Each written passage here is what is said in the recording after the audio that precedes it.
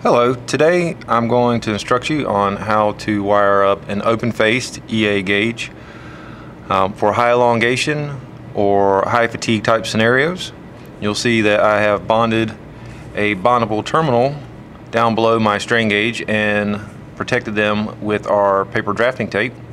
I cut the bondable terminal from a strip of 8 and have bonded so with M-Bond 200 although your adhesive should not matter.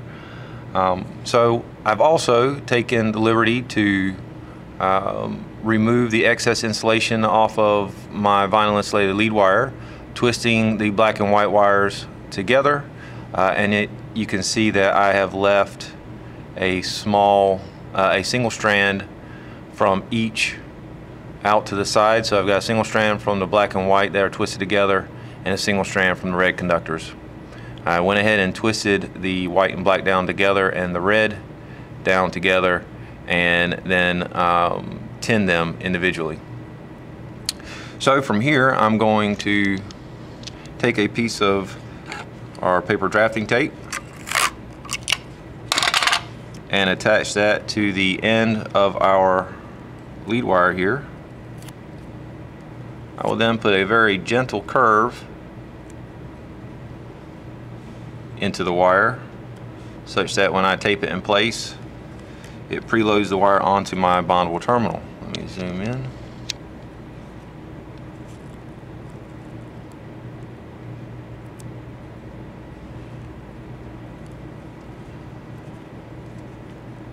Excellent. Next, I will reroute these small wires up towards the top of my strain gauge.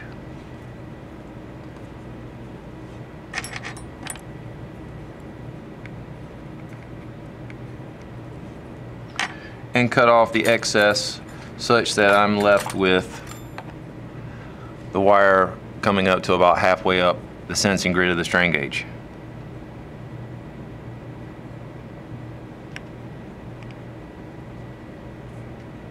Again, protecting our strain gauge with our paper drafting tape is key here such not to damage the sensing grid.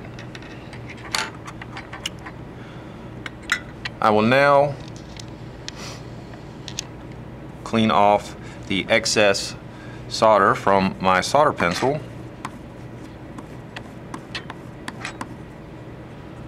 and freshly tin it.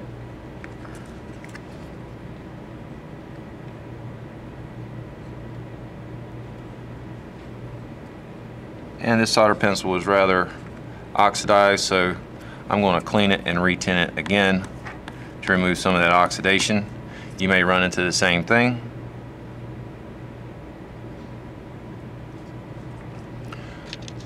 And now I will reflow the solder junction on my bondable terminal.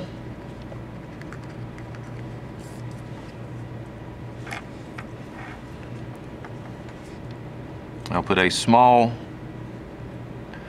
dot of solder on the end of my solder pencil tip to help transfer heat from my solder pencil tip to my target location.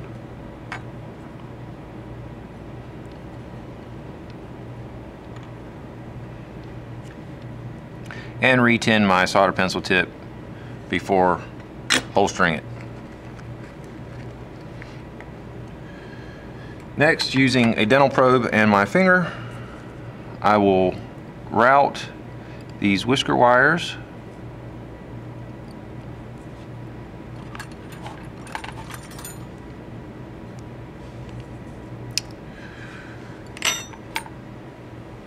into a gentle U shape as to not introduce a lot of extra stress into the wire.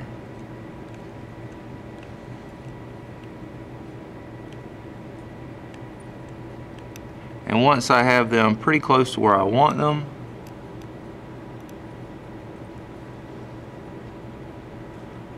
I will cut off two lengths of tape about a 16th of an inch long each, which I'll demonstrate in just a second.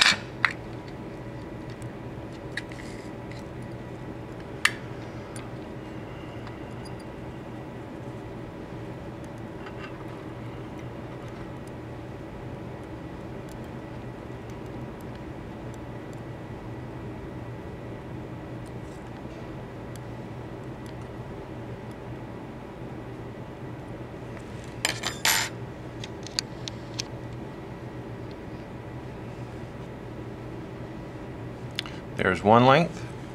Using my pointed tweezers to carry the tape. I'm going to zoom in.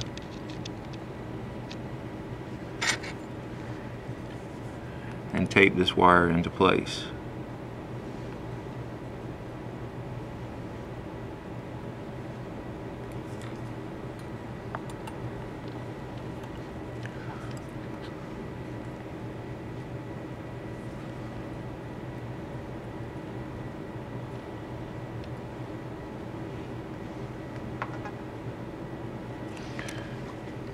Give another piece for me. Here is my second piece of tape about a 16th of an inch long. And I'll tape this other connecting wire into place and then reflow these junctions. Again, cleaning off the old solder, adding a small amount of solder to my solder pencil tip and then reflowing these two solder junctions.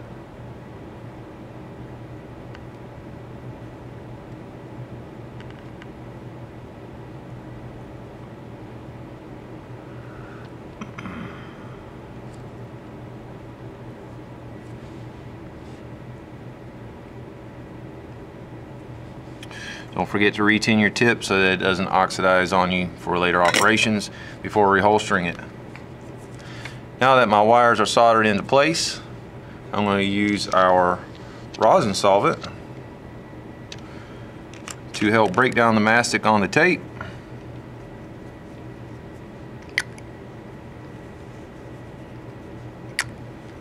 So that when I remove this tape, I don't yank my wires off of my solder tabs.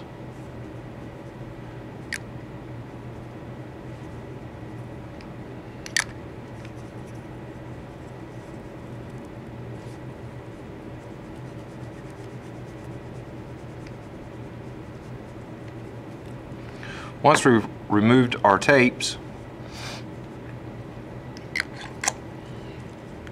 we will want to use the rosin solvent to help break down the flux from our soldering operation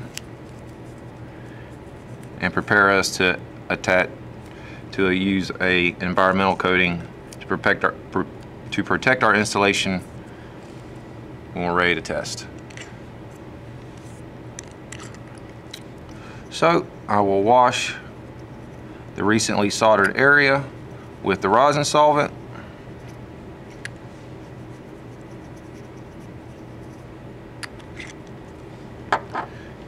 which puts the flux into suspension. I've taken a standard clean gauze sponge, folded it into quarters, and I will blot that rosin solvent with suspended flux and I will wash a few more times just to make sure that I get all of that residual flux up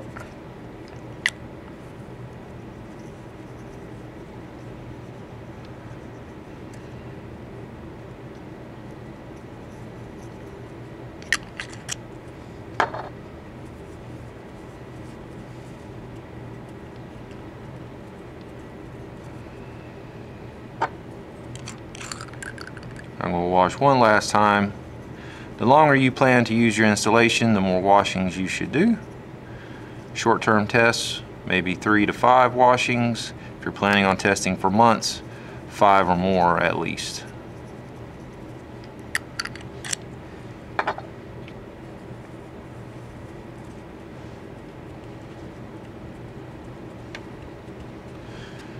Don't forget to create a small strain relief loop as such that your wires don't pull on your solder tabs. As I'm demonstrating here, I'm going to use the handle from a cotton tip applicator. I'm going to slide it up underneath my wire, in between my wire and my substrate. I'm going to take my pointed tweezers and start away from the strain gauge and rock over and away from my strain gauge, leaving me this nice little strain relief loop. Thank you for watching. Best of luck with your testing. Okay, thank you, Matt. I have some questions about the installation here. I noticed that the solder connections are extremely small. And uh, can you describe a little bit the reasoning and how this helps you in fatigue, in fatigue applications? Sure, as you can see, I've extended the wire out of my bondable terminal, the anchor point for our larger lead wires, and ran the wires out in to the sides of the strain gauge. This way the wire is not pulling directly on this solder tab and there will be less stress on the tab itself. Um, reducing the size of the solder dot uh, helps reducing, of course, mass and the amount of mass that's uh, pulling on your solder dot. Right, because co- copper wire fatigues very, very quickly. So in this arrangement, you've uh, decoupled it from the strain so that there's less strain on the copper wire itself and less chance of it failing fatigue. Most definitely. Thank you, man.